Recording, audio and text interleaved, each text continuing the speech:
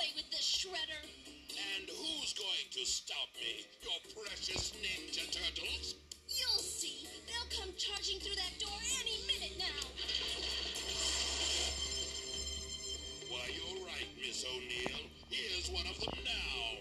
Donatello, what happened? I'll tell you later. I don't want to tie up the phone.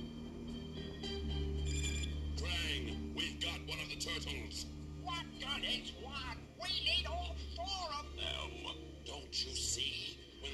Come to rescue their friend, they'll be captured too. And then, with all this machinery at my command, I shall be invincible.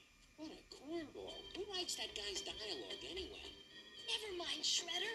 We've got to help that poor sea turtle. If she isn't returned to the beach to lay her eggs by high tide, it will be the end of her species. Listen to me, Shredder. This insanity has gone on too long. It has got to stop. He about Shredder's corny dialogue?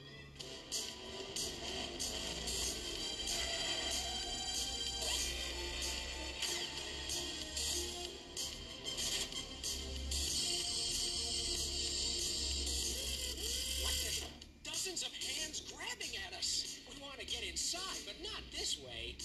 I'm coming, guys. Hang on. Like we've got a choice, right?